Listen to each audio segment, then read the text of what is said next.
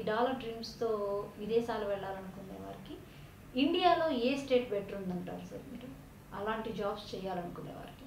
ఇండియాలో? ఏ స్టేట్స్ బాగున్నాయి? బెంగళూరు ఆర్ డెఫినెట్గా అండి. ఇవాళ మనకి ఐటీ తీసుకునేటట్టయితే మనకి ఇప్పుడు కొత్త రాష్ట్రం ఉంది. కొత్త రాష్ట్రంలో ఫర్ ఎగ్జాంపుల్ మనం లెక్కేసి లెక్కేసుకుంటే లైక్ ఒక వైజాగ్లో కావాలి మనకి ఇన్ఫోసిస్ విప్రో సంథింగ్ కనపడుతున్నాయి. వాళ్ళు కూడా ఏంటి డైరెక్ట్ డెవలప్మెంట్ ఏమీ లేదు అక్కడ.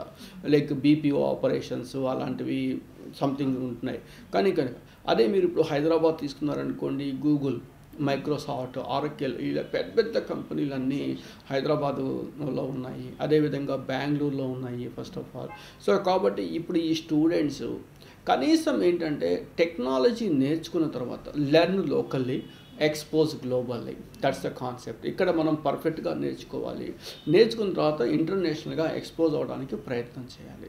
దానికి ఇప్పుడు world is like a small village మనం ఎక్కడి నుంచైనా ఏమైనా చేసే పరిస్థితి మనకి ఉంటుంది ఖచ్చితంగా. సో కాబట్టి ఈ స్టేట్ బాగుంది ఈ స్టేట్ బాగాలేదని మాత్రం నేను చెప్పట్లేదు ఫస్ట్ ఆఫ్ ఆల్ బట్ ప్రస్తుతం ఆపర్చునిటీస్ ఎక్కువ ఎక్కడ కనపడుతున్నాయంటే వెదర్ ఇట్ మేబీ లైక్ హైదరాబాద్లో ఆపర్చునిటీస్ ఉన్నాయి బెంగళూరు ఉన్నాయి పూణే ఉంటుంది.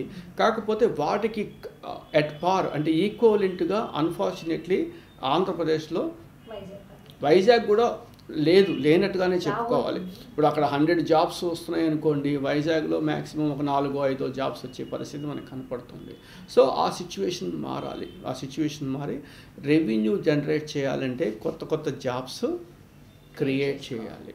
ఈ స్టూడెంట్స్ కూడా ఆ జాబ్స్ని పట్టుకోవాలి. That's the more important.